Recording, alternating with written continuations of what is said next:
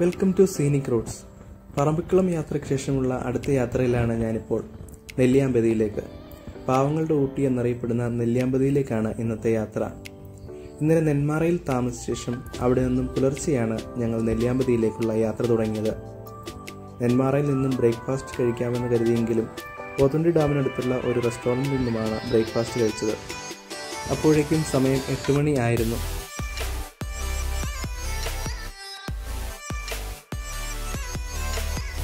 ഇതൊരു വനം ചെക്ക് പോസ്റ്റാണ് ഇവിടെ ഫീസ് ഒന്നും തന്നെ കൊടുക്കേണ്ട ആവശ്യമില്ല. എന്നാൽ നമ്മൾ പോകുന്ന വാഹനത്തിന്റെ രജിസ്ട്രേഷൻ ഡീറ്റെയിൽസ് ഇവിടെ കൊടുക്കണം.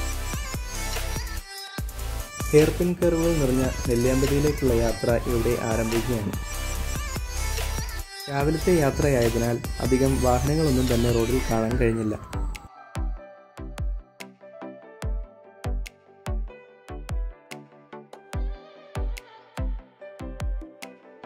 ഇരുവശത്തും കാടാണ്. അതിനാൽ തന്നെ മൃഗങ്ങളെ കാണാമെന്നുള്ള പ്രതീക്ഷയിലായിരുന്നു ഞങ്ങളുടെ യാത്ര. ജാനുവരി മുതൽ മെയ് വരെ തണുപ്പ് കുറഞ്ഞ കാലാവസ്ഥയും ജൂൺ മുതൽ ഡിസംബർ വരെ തണുപ്പ് കൂടിയ കാലാവസ്ഥയുമാണ് ഇവിടെ.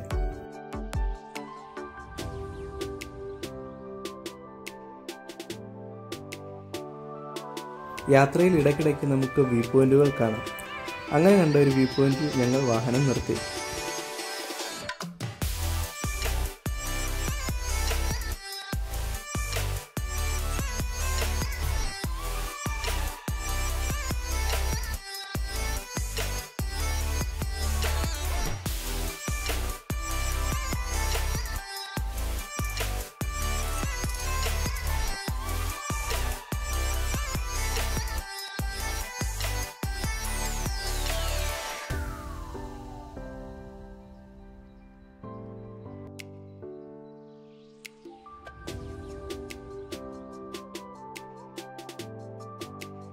ഇവിടെ നിന്നാൽ നമുക്ക് പോത്തുണ്ടി ഡാമിന്റെ റിസർവോയർ ഭംഗിയായി കാണാം. കാർഷിക ആവശ്യങ്ങൾക്കായി ഏറ്റവും കൂടുതൽ ഉപയോഗിക്കുന്നത് ഇവിടുത്തെ ജലമാണ്. ഇവിടെ നിന്നും നമുക്ക് ഫോട്ടോകൾ എടുക്കാനും സൈറ്റ് സീയിങ്ങിനുമുള്ള അവസരമുണ്ട്. കഴിഞ്ഞ തവണത്തെ യാത്രയിൽ എനിക്ക് നെല്ലിയമ്പതിയിലെ off road jeep safari miss ചെയ്തിരുന്നു. അതിനാൽ ഇത്തവണ ഞങ്ങൾ ആദ്യം തന്നെ പോകാൻ തീരുമാനിച്ചിരിക്കുന്നത് നെല്ലിയമ്പതിയിലെ ഈ ഓഫ് റോഡ് ജീപ്പ് സഫാരിക്കാണ് ഇവിടെ നമുക്ക് പല റേറ്റുകളിൽ ജീപ്പ് സഫാരി ലഭ്യമാണ്. യാത്രയുടെ ദൈർഘ്യം അനുസരിച്ച് റേറ്റ് വ്യത്യാസപ്പെടും. ഞങ്ങൾ പോയത് ആയിരത്തഞ്ഞൂറ് രൂപയ്ക്കുള്ള ജീപ്പ് സഫാരിക്കാണ് ഇതിന് പരമാവധി ഏഴ് പേരെ വരെ കൊണ്ടുപോകാം. കൂടുതൽ ആളുകളുണ്ടെങ്കിൽ രണ്ടോ അതിൽ കൂടുതലോ ജീപ്പുകൾ ഡ്രൈവർമാർ തന്നെ അറേഞ്ച് ചെയ്തു തരും. നാല് പേരടങ്ങുന്ന സംഘവുമായാണ് ഞങ്ങളുടെ യാത്ര. യാത്രയിൽ നമുക്ക് അങ്ങിങ്ങായി കാപ്പിത്തോട്ടങ്ങൾ കാണാം.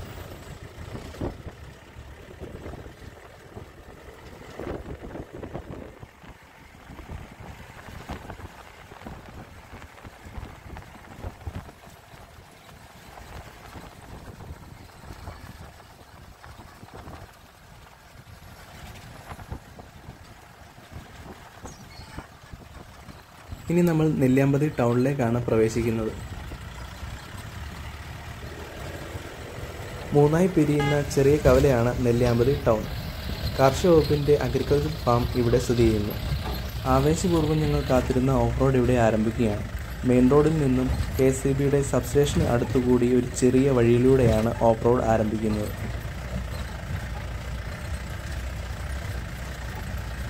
മുന്നിൽ കാണുന്നത് വനംവകുപ്പിന്റെ ഒരു ഓഫീസാണ്. ഇവിടെ ഫീസ് അടച്ചിട്ട് വേണം യാത്ര തുടങ്ങാൻ. ഒരാൾക്ക് അമ്പത് രൂപയും ജീപ്പിന് നൂറ് രൂപയുമാണ് ഇവിടുത്തെ ഫീസ്.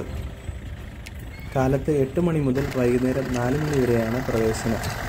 ടിക്കറ്റ് നിരക്ക് ഉൾപ്പെടെ ആയിരത്തഞ്ഞൂറ് രൂപയാണ് ഞങ്ങൾ നേരത്തെ കൊടുത്തത്. പോയ വഴിയിൽ ഒരു ജീപ്പ് കേടായ കാഴ്ചയാണ് ഞങ്ങൾ കണ്ടത്. ജീപ്പ് കേടായാൽ പകരം സംവിധാനം ഏർപ്പെടുന്ന കാര്യം ഡ്രൈവർ ഞങ്ങളെ അറിയിച്ചു.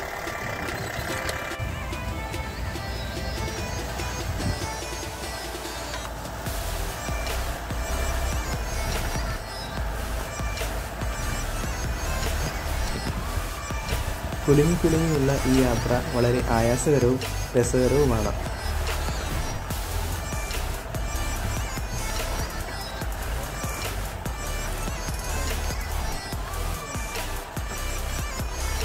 ഇടതുവശത്തായി ഈ കാണുന്ന ജണ്ട കാടിനെ വേർതിരിക്കുന്ന അടയാളമാണ്.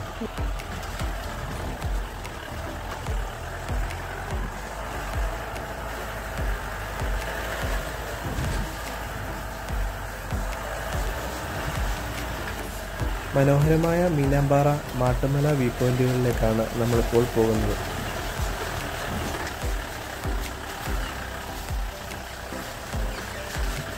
മഴക്കാലത്ത് ഇവിടം എങ്ങനെയായിരിക്കില്ല ചെളി കാരണം യാത്ര വളരെ ബുദ്ധിമുട്ടായിരിക്കും.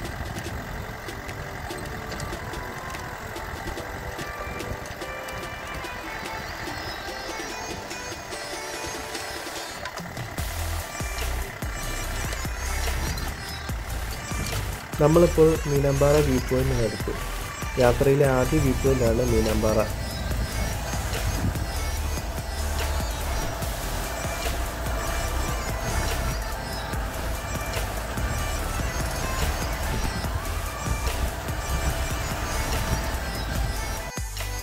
പ്രകൃതി ഭംഗി ഏറെയുള്ള ഒരു സ്ഥലമാണ് ഇവിടെ ഒരുപാട് ഫോട്ടോസ് നിങ്ങൾക്ക് എടുക്കാൻ കഴിഞ്ഞു.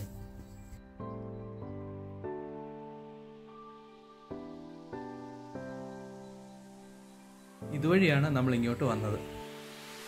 ഇവിടെ നിന്നാൽ നമുക്ക് തമിഴ്നാടിന്റെ കുറച്ച് ഭാഗങ്ങൾ കാണാം. താഴ്വാരത്ത് കുറേ കൃഷി സ്ഥലങ്ങളും കാണാം.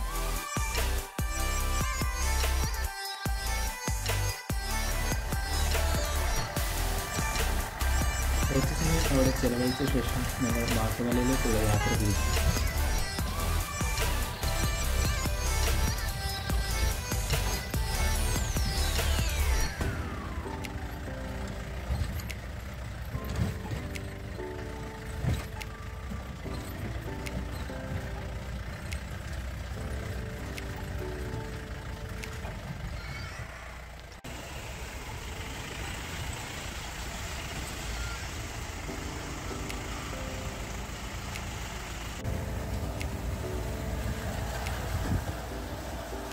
മീനാമ്പാറയിൽ നിന്നും അധികം ദൂരെയല്ല മാട്ടുമല സ്ഥിതി ചെയ്യുന്നത്.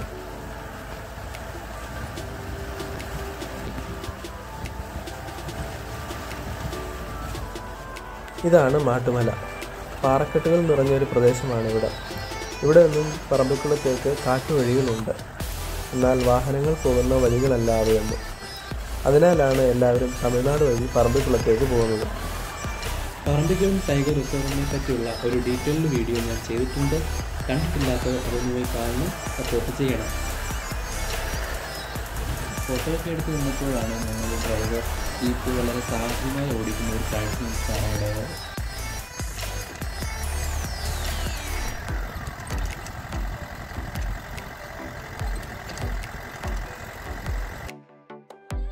സഞ്ചാരികളുടെ പ്രിയപ്പെട്ട ഒരിടമായ സീതാർകുണ്ട് വ്യൂ പോയിന്റിനേക്കാൾ ഏറെ ഉയരത്തിൽ സ്ഥിതി ചെയ്യുന്ന ഒരിടമാണ് മാട്ടുമല. അതിനാൽ തന്നെ ഇവിടേക്കുള്ള യാത്ര നിങ്ങൾ നെല്ലിയാമ്പതി ട്രിപ്പിൽ ഉൾപ്പെടുത്തേണ്ടതാണ്. ഇവിടുത്തെ പ്രകൃതി ഭംഗി എത്ര പറഞ്ഞാലും മതി വരാത്തതാണ്. മനോഹരങ്ങളായ ഫോട്ടോസ് എടുത്ത് ഞങ്ങൾ കുറേ നേരം അവിടെ ചിലവഴിച്ചു. അപ്പോഴാണ് ഒരു വേഴാമ്പൽ അതുവഴി പറന്നു പോകുന്ന കാഴ്ച കണ്ടത്. എന്നാൽ എന്റെ ക്യാമറയ്ക്ക് അത് മുഖം തരാതെ പറന്നുപോയി.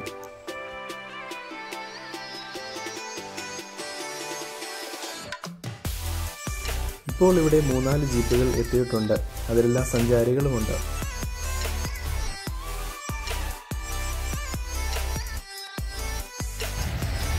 ഇവിടുത്തെ കാഴ്ചകൾ പൂർത്തിയാക്കി ഞങ്ങൾ യാത്ര തുടർന്നു.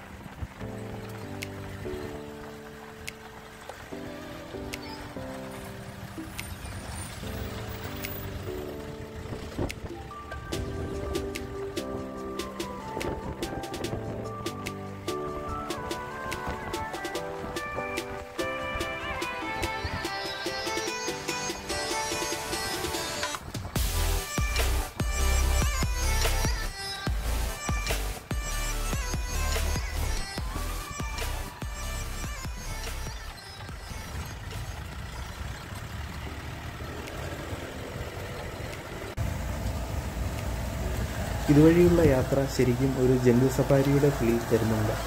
ചെളി നിറഞ്ഞ വഴിയും അതിൽ കൂടിയുള്ള യാത്രയും രസകരമാണ്.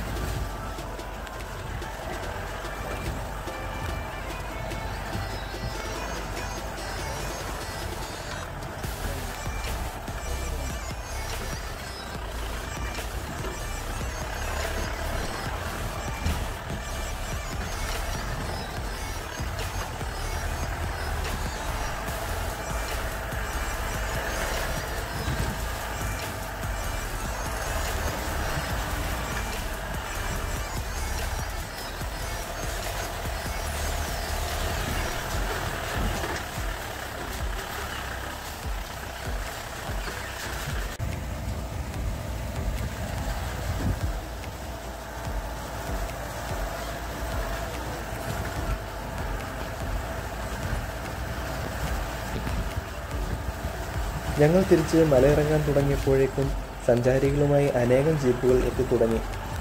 കഷ്ടിച്ച് ഒരു ജീപ്പിന് പോകത്തക്ക വീതിയുള്ള വഴികളാണ് ഇത്.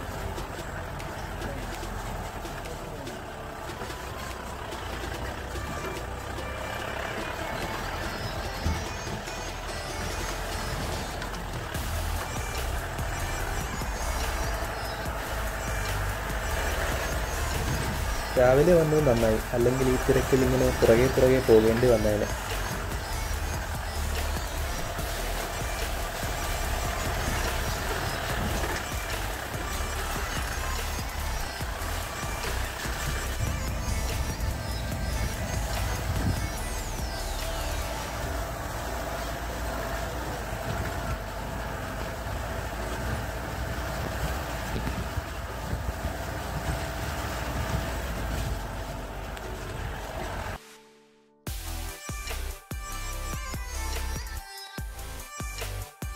അങ്ങനെ രണ്ട് മണിക്കൂർ നീണ്ട ഞങ്ങളുടെ ഓഫ് റോഡ് ജീപ്പ് സഫാരി ഇവിടെ പൂർത്തിയാവുകയാണ്.